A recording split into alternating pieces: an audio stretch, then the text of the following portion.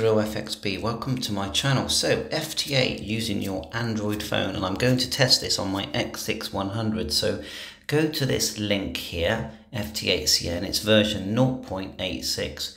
Scroll up until you see FT8 APK here and give it a tap and then download it at your risk of course. Then open, install and it's really good this app. It's got a built-in map. It will transmit and receive. Let's click open again. Just tap the select where if it's precise. Okay. Allow allow allow.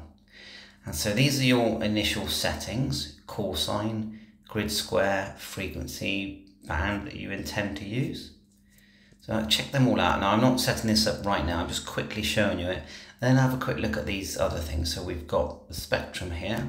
That obviously when you're receiving FT8, you're going to have a nice big spe spectrum there. Calling, QSO logs, decode as well. We've just been to settings. Then you've got this, this nice nifty map that comes up. And when it is in action, you will see all the grid squares and everything.